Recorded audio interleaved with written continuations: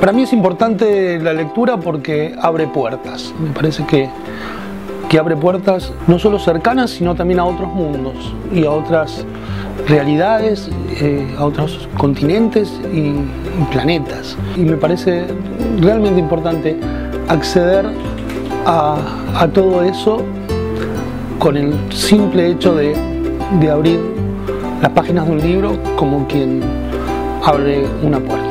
Soy Diego Paskowski, soy lo que leo.